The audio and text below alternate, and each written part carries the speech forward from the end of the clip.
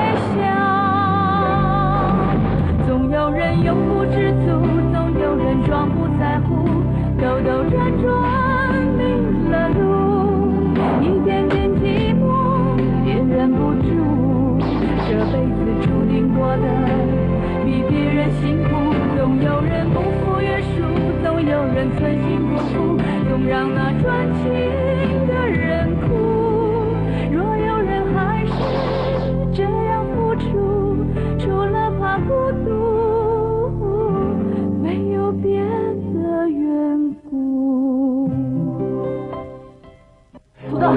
你为什么要杀我？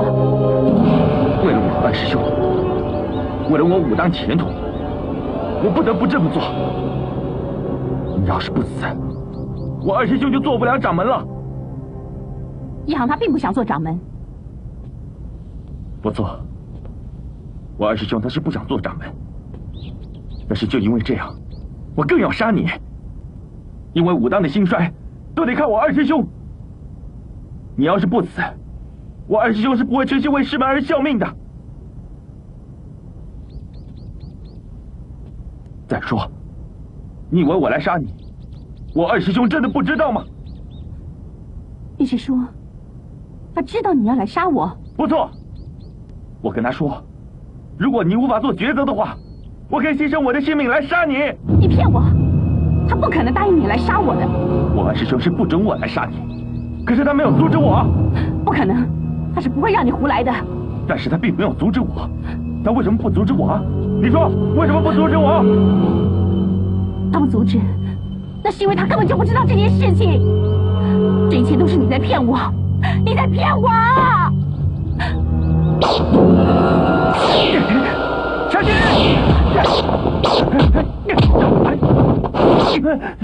水月轩这个地方，我不想有任何的血腥，你走啊你！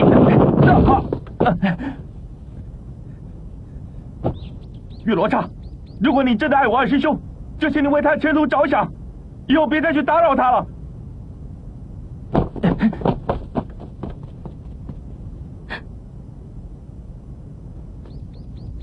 师妹，进去疗伤吧。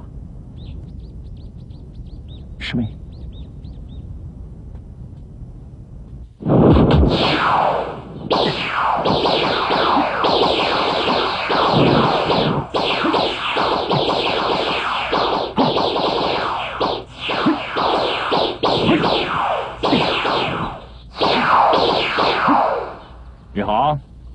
师叔。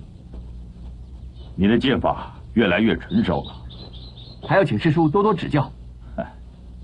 哦，对了，土豆有没有跟你说他下山的事？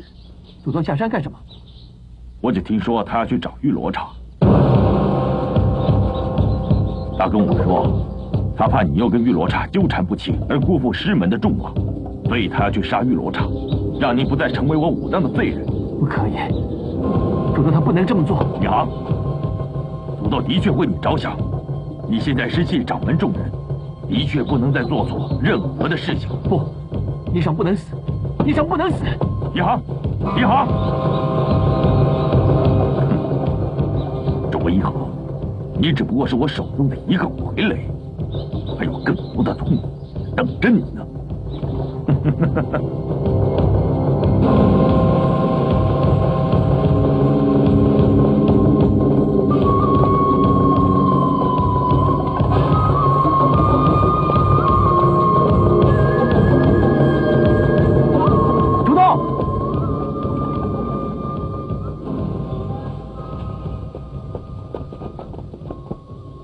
裳怎么样了？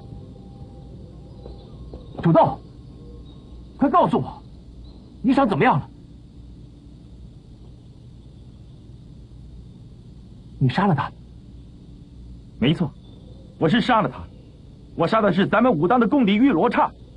你这辈子再也见不到他了。不可能！你骗我！以你的武功，不可能杀得了霓裳。为什么不可能？他对我根本就毫无防备，杀他简直是轻而易举的事。你怎么可以杀他？为什么？为什么？他是我武当的敌人，我为什么不能杀他？我为什么不能杀他？你，你是我最好的师弟，你明知道我爱霓裳，你还要杀他？为什么？为什么？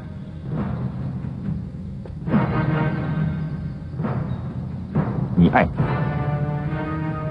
爱的让自己迷失了心智，分不清是非黑白，是敌是友。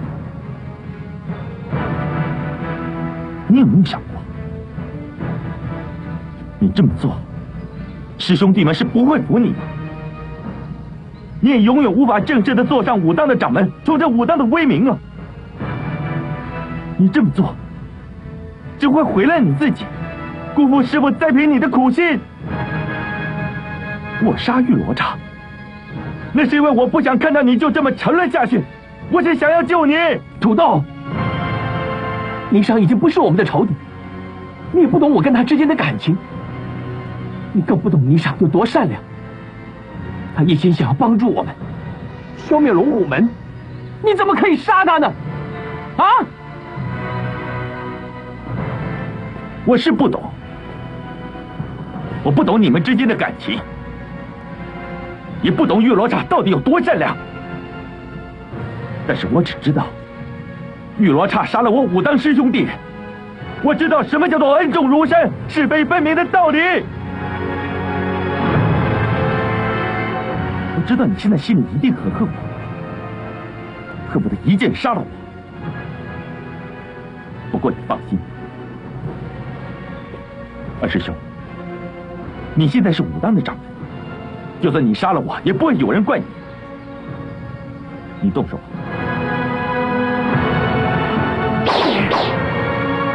动手啊！难道你就这么饶了我这个杀害你心爱的人的凶手吗？你还在犹豫什么？动手啊！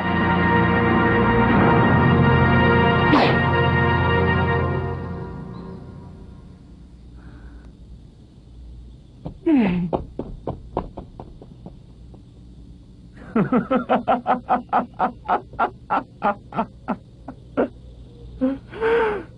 ha ha ha ha ha!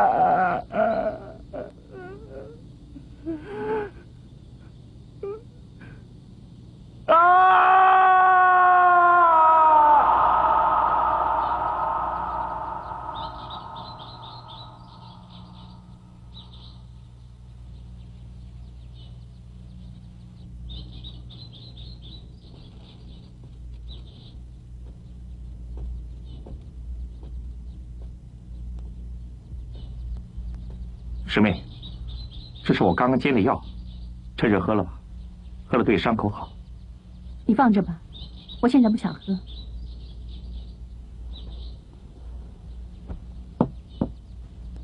师妹，你何苦这样折磨自己呢？如果说卓一航真的像你所说的这样爱你，他绝对不会知情而不来阻止土豆的。我想这其中必定有误会。我也不相信他会这么做。可是土豆跟他情同手足，他没有理由来骗我的。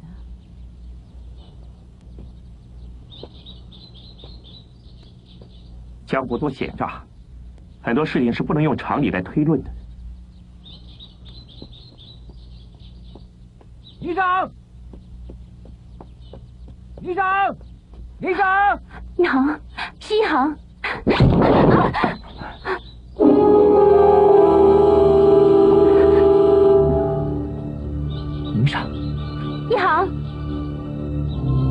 还以为你被土豆杀了，所以就急着赶来。既然你安然无恙，那我走了。一航，一航，土豆说你知道他要来杀我，这是真的吗？如果我知情，我还会来吗？妮莎，你连这一点都不相信我？啊，我就知道，这一定是土豆自己的意思，他想帮助你当上武当派的掌门，对不对？对，所以他就照自己的意思跑到这儿来了。哎，你为什么不跟我说话？你要走啊？你有你师兄相陪，我留下岂不是多余？哎，你说这个是什么意思？左兄，你可不要误会了，刚才是我师妹不小心跌倒，我去扶她。嗯，真巧。一航，你怎么能那么误会我？左兄，你不论人品武功，均是人中之龙，在下自愧不如，难怪我师妹会整天为你害相思。在下武功哪能与你相比？你这岂不是存心损我？一航，我师兄光明磊落，是个正人君子，你不能那么说他。是，他是个正人君子，而且风度翩翩，是个难得的卓氏家公子，难怪你会与他共处一室。一航，你竟然说这种话，难道你不相信我？左兄，你误会了，我跟霓裳只是师兄妹的关系。更何况你年纪轻轻就当上了武当派的掌门，可说是年轻有为。如果你能够在武学上多下功夫，提升你武当派的武学，相信有朝一日，你必是武林第一人。你是说我武当派的武学不如你天池一派？好，今天我倒想领教兄台的惊人绝技。一航，你怎么能跟我师兄动手呢？在下常听说，武当绝学是技压武林。在下岂敢有轻视之心？一航，他真的没有轻视你的意思。再说你们相斗了起来，要是受了伤，你叫我怎么安心呢？万一我落败受伤，或者死了，那是我技不如人。慕容冲，在下想与你过招比试，就算血溅当场，也绝无怨言。一航，你怎么变得如此不明事理？好，你想比试，我不反对。师兄，你就跟他过过招，让他明白武学和修养相辅相成的道理。师妹，这 你不跟他比，他是不会死心的。左兄，既然如此，我们就过招玩玩吧。不过点到为止，不要伤和气。剑下无业，你不必谦让。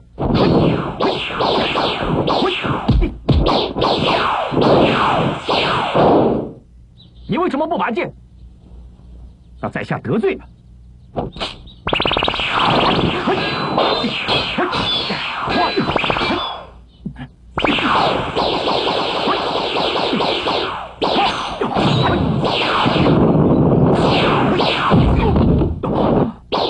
师兄，师兄，你没事吧？没事，小伤而已。卓兄，你剑法高超，在下甘心认输。慕容冲。你不要惺惺作态，我不是瞎子，我的剑法的确不如你，他日有幸，定能再来请教高招。你好，你好。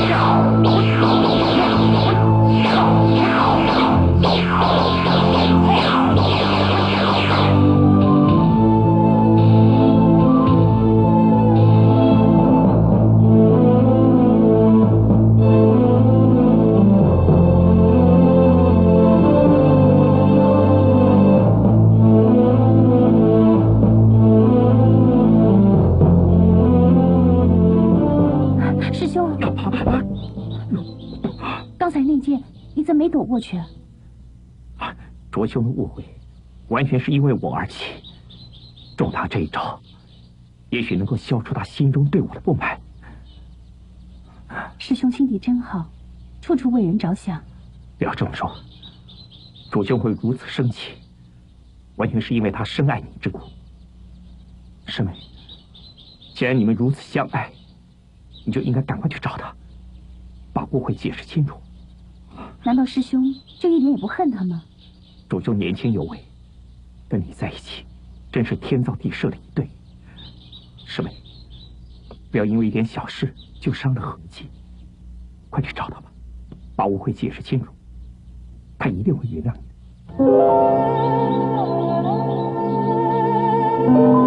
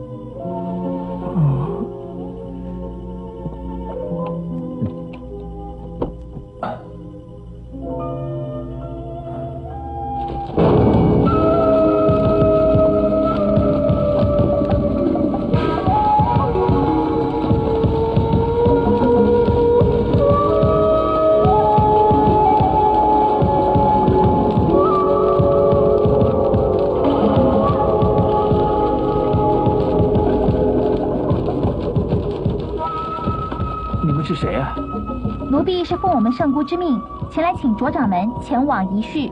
你们的圣姑是谁？圣姑说你去了就认得他了。如果我不去，那就请恕奴婢无礼了。走。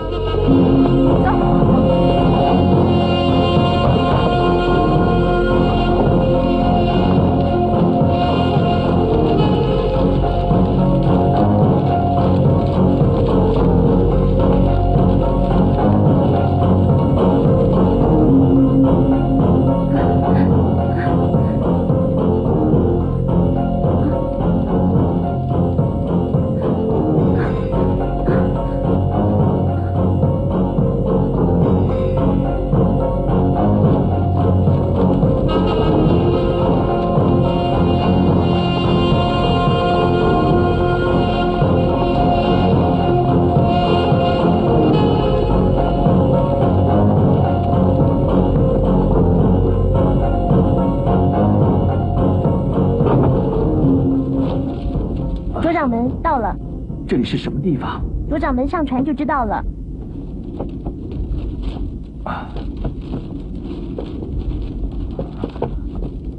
哎，为什么我头晕目眩，全身无力啊？那是因为你醉了。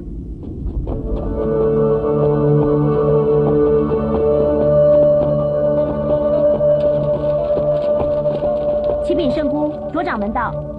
好，你们先下去。是。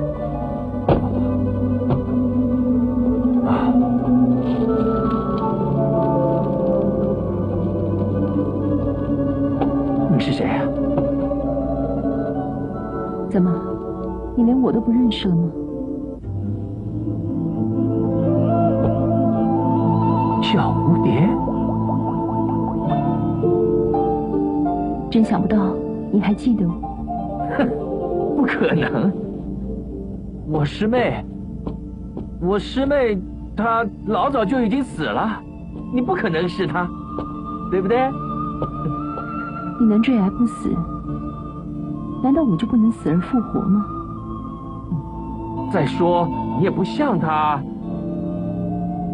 一定是我喝醉酒认错人了，要不然你就是鬼魂。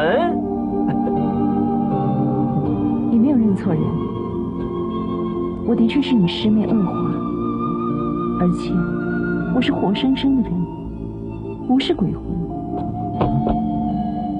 真的？觉得很奇怪。不过在我坠崖的时候，被幽灵教的人所救，大难不死的我，就成了幽灵教的圣女。我这才恍然大悟，人生无常，我应该要把握我活着的每一个时刻。现在，我想要什么，绝不放弃。我肯定你不是我师妹，我师妹不是这样子说话的，不知道是谁假扮的。也许我的样子有一些改变，但是我爱的人是你，这永远不会变。不像玉罗刹，他移情别恋。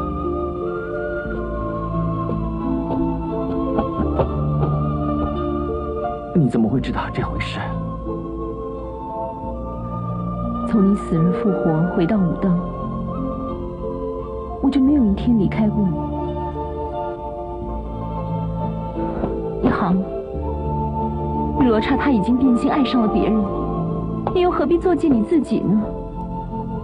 最起码你还有我，我是爱你的，我永远不会改变的。不要这样子，一航，一航。哎。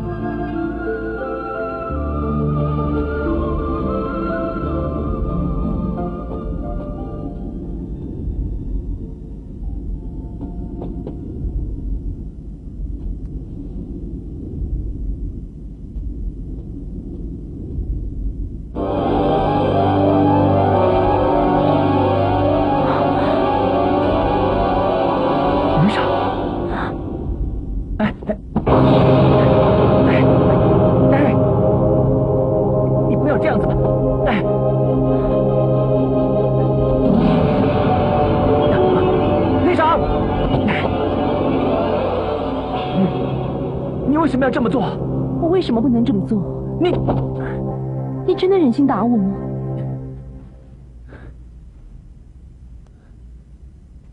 我不希望再见到你，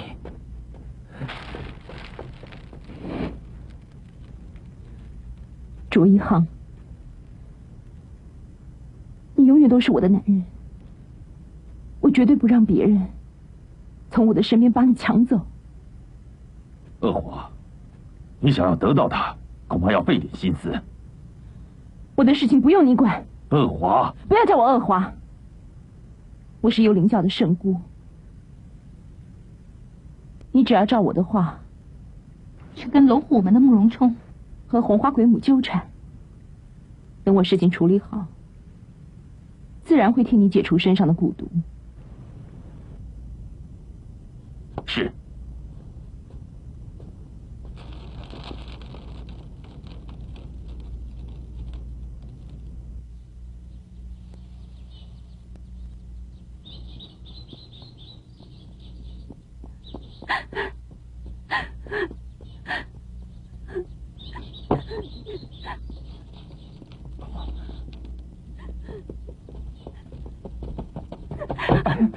师妹，怎么回事啊？你找了卓一航了吗？你不要跟我提他，我以前我以前看错了他，他竟然有许多我不知道的事。师妹，师妹，这到底怎么回事啊？他竟然跟一个妖艳的女子在一起，他们，我，神秘的妖艳女子，怎么会冒出这样的女孩呢？妖艳的少女，什么妖艳的少女？我真的不知道。我按照计划让玉罗刹去找卓一航，就是希望在你的协助之下，加深他们感情的裂痕。怎么会让玉罗刹看到卓一航跟一个妖艳的少女在一起？卓一航是快到清晨的时候才回武当，但是我一直没有看到玉罗刹来，我还以为是令主改变了计划。你最好别骗我，要是我知道你骗我的话，你要知道你自己是什么下场。我会让你死的凄惨无比。属下真的没有骗令主。好，这一次我姑且相信你，但是我们还是要按照原定计划进行。你立刻去查出这妖艳的少女是谁。是。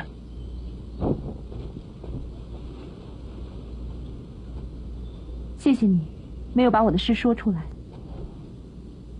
恶华，不管怎么样，你终究还是我的外甥女，我不会害你。就像是那个时候我叫你逃走是一样的。不要再提以前的事。我已经不是以前的何恶华，也不再是武当派的弟子。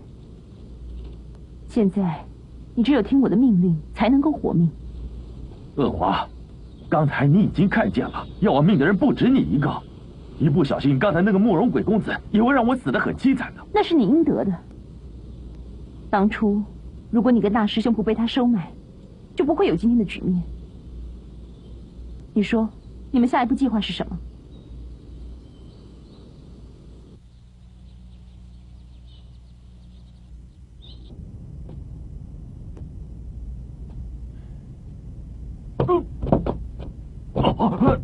呀哈！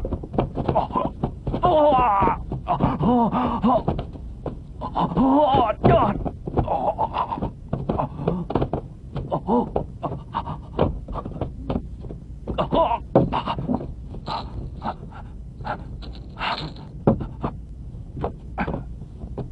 啊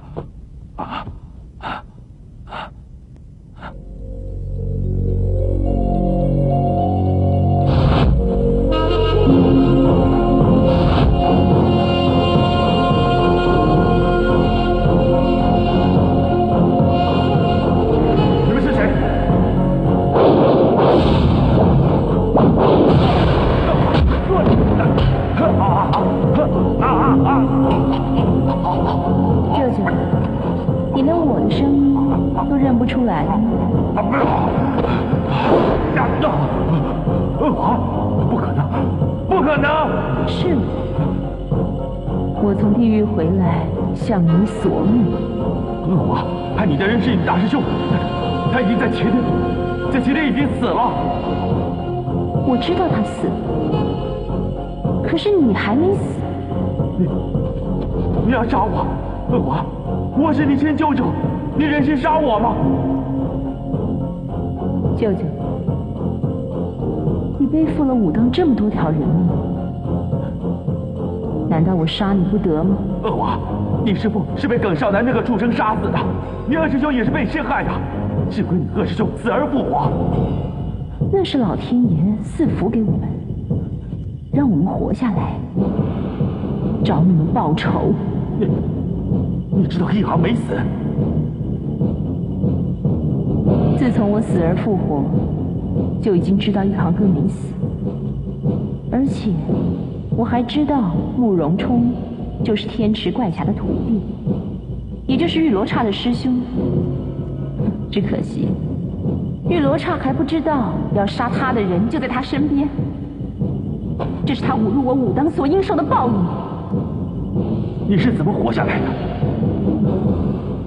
那是因为我命大，掉下山崖的时候挂在树枝上，正好被幽灵教的人所救。他们以为我是仙女下凡，还封我为圣姑，传授我他们的独门绝技。天下竟有这种奇事！等一下还有更奇特的事，一会儿你就知道了。什么事？很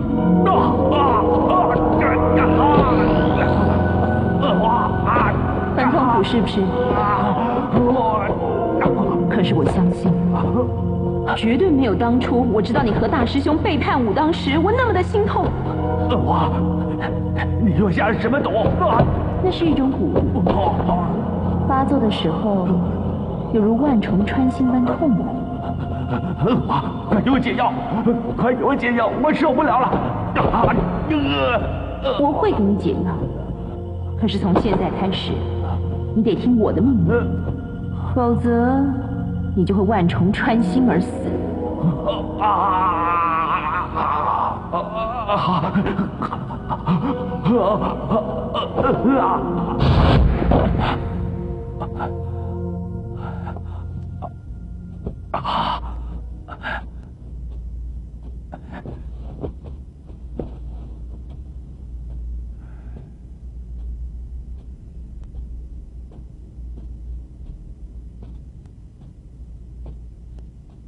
二师叔，怎么？你想离开？二师叔，弟子有辱使命，不但没有杀死玉罗刹，也无法带二师兄回来。弟子已经没有脸再待在师门了。豆豆，我需要你，你不能走。二师叔，我，你已经尽力了，没有人会怪你。我到现在才明白，只有你才是真正的为我武当派的前途着想。可是二师叔，弟子能力有限，有愧二师叔的厚爱。千万不要这么说，土豆。说实话，我对一航实在太失望了。原本我希望他做了代理掌门之后，能为我武当争光，没想到他还执迷不悟，没有断绝跟玉罗刹的来往。二师叔，二师兄，他只是一时的糊涂，我相信他过一阵子就会明白的。不，他已经被玉罗刹所迷，无法再回头了。为了我武当的前途，我一定要赶快另立掌门，以免一航又破坏我武当名誉。不，二师叔，千万不可！我相信你只要好好劝他，他一定会听的。不行，我不能再姑息他，而害了我武当。豆豆，放你所有的弟子，没有一个像你对师门如此忠心，所以我想立你做代理掌门，希望你能全力以赴，冲着我武当威名。不不不不，啊师叔，弟子才艺平庸，无力担此重任呐。不要说了，我会从旁协助你。这件事就这么决定了。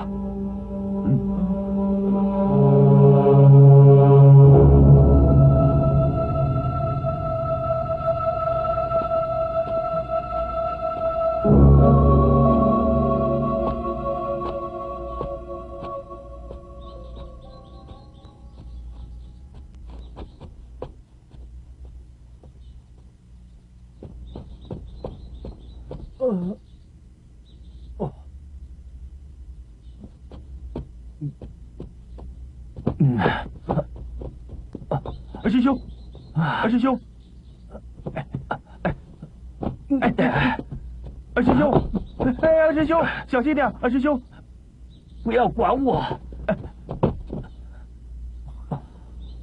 我是不想管你，从今以后，你自己好好保重吧。土豆，你去哪？我要离开武当，从此再也不回来了。土豆。为什么？我不想看到你为了一个女人而罔顾师门的道义，又忘了你自己的身份。你看看你现在的样子，酒气冲天，狼狈不堪，哪像我武当的掌门呐！住口！我不需要你来教我怎么做掌门，更不需要你来教训我。我是没有资格教训你。从今以后，我们各走各的，谁也别管谁。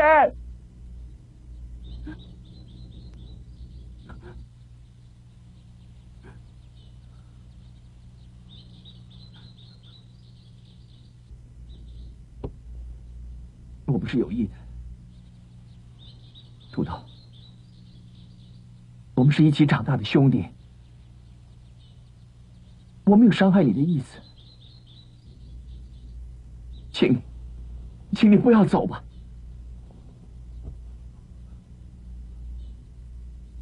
我可以为你留下来，不过我有一个条件，那就是你要跟玉楼刹断绝来往。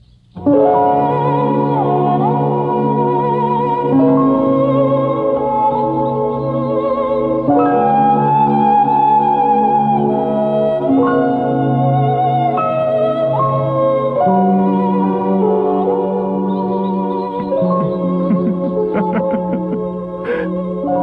太令我失望了，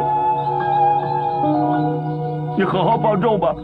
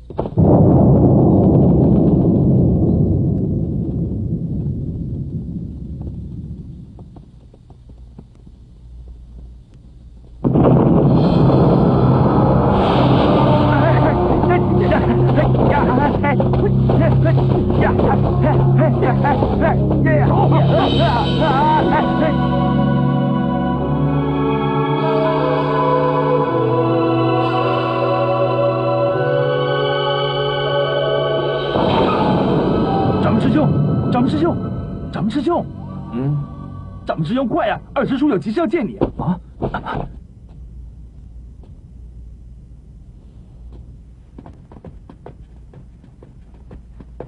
二师叔，发生什么事了？土豆被龙虎门的人抓走了，还有四个弟子，刚才因为龙虎门的入侵而被绑架了。什么？这是龙虎门送来的挑战书，约我们的千丈岩见面。你是本派的代理掌门，你说该怎么处理？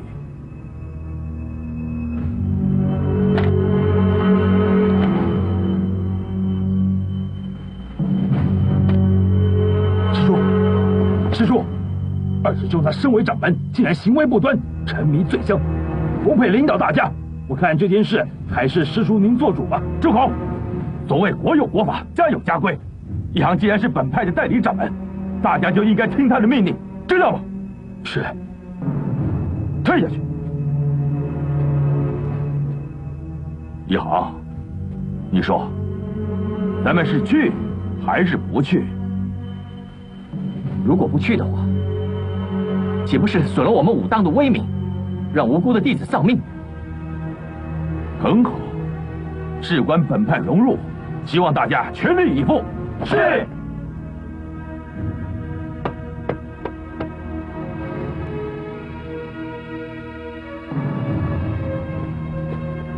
在那边，二师兄，土豆，二师兄，别管我们，你一定要跟龙虎门的人一决死战，千万别毁了我们武当的威名啊！我一定会。哈哈哈哈哈哈哈！你们武当派想跟我龙虎门硬拼，那是自寻死路。红花鬼母，你抓我武当弟子又出言不逊。我卓某人愿意领教高招。啊？什么什么？小心口舌！就你那一点三脚猫的功夫，也想跟我比划？哈哈哈哈哈！真是自不量力！我坦白的告诉你，要想保全你们武当派，我有一条路可走。你说，你想怎么样？把玉罗刹抓来，我就放了你们这些个没用的师弟，也不再回你武当。呀！事关土豆及弟子，还有我武当的安危，你自己斟酌斟酌，看看应该怎么办。师叔，那还用说吧？当然是救土豆要紧。玉罗刹本来就是本派的仇敌，抓他杀他都是应该的。我知道你跟那个玉罗刹情深似海，用你来诱捕他，那可是轻而易举的事。不然，我就捏碎他的脑袋。掌门师兄，你别管我，跟这个鬼老太磨平了。死到临头还敢多嘴，让我教教你怎么学乖一点。掌门师兄，难道为了玉罗刹这个魔女，就要牺牲土豆跟我们大家的生命吗？怎么，我一航还没想通吗？住手！住手！好我答应你，好，是食物，还不算太笨。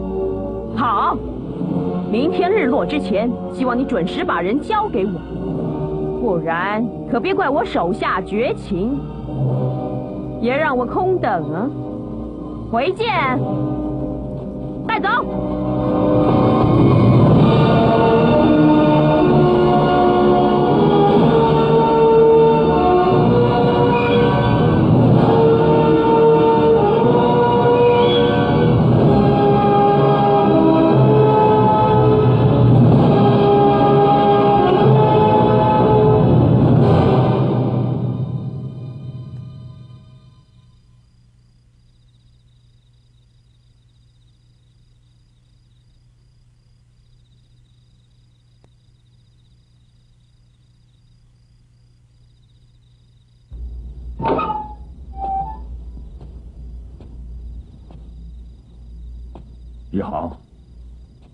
道你很痛苦，不过我有个两全其美的办法。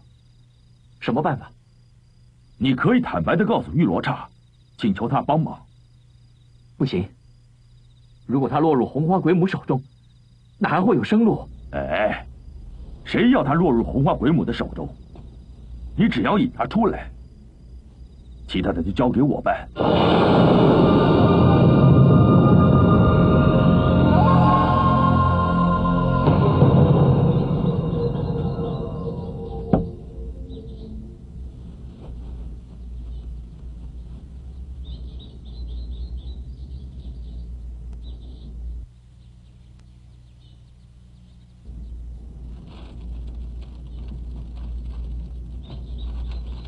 思多虑多，烦恼多。但若能看淡一切，心里自然会舒坦很多。我已经把以前的事当做是一场梦，梦中不管是甜是苦，如今梦醒了，就再也没有任何事可以困扰我。也真的能忘记他吗？假如我下定决心，就没有做不到的事。好。能够看破情关，才能活出快乐。最怕的就是自己欺骗自己，到时候只会更痛苦。师妹，你知道我真的很喜欢你，可是我更不愿意的，就是夺人所爱。我知道你深爱卓一航，如果你真的爱他，就不应该为了一点小事而生气。应该学着宽恕别人，才能感觉到快乐。师兄，在江湖上，恐怕没有一个人的气度能与你相比。师妹过奖了，我只是实话实说。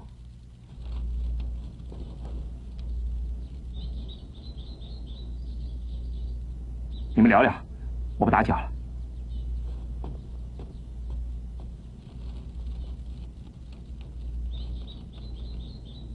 你来干什么？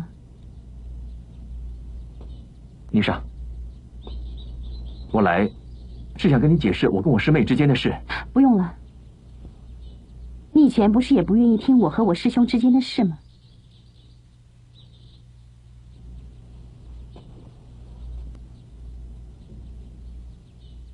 没话说了吗？请你走吧。宁上。我真的没有想到我师妹会死而复活，更没有想到她会做了幽灵教的圣姑。女上，请你听我解释。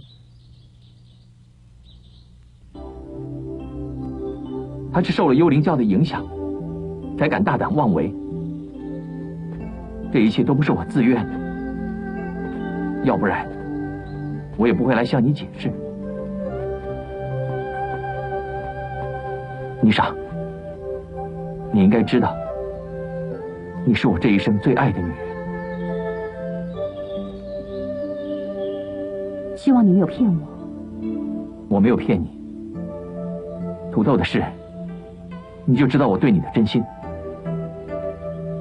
只是，只是什么？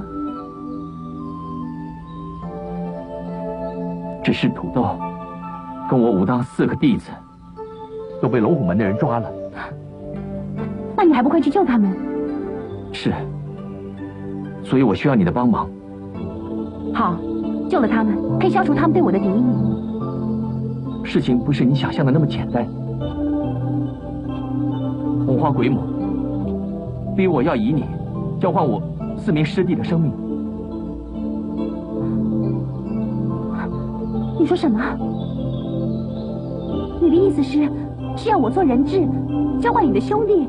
是，就是在这里。不过，宁少，我不是真的要你做人质，而是拿你做一个幌子，在他们被放了之后，我一定会把你救回来。你把我带到这儿来，就是要我答应你这件事。是，事关土豆跟我四个师弟的生命。希望你成全。那刚才在水月轩的时候，你为什么不坦白的告诉我？我怕你会不答应。那要是我现在不答应呢？你可以走，我不会怨你。一航，你明明知道我为了你可以做任何事，甚至牺牲性命。我带到交换的地点才跟我说明这件事。你这分明是不信任我，不相信我，也是逼我答应替你做人质。宁莎，我知道是我不对，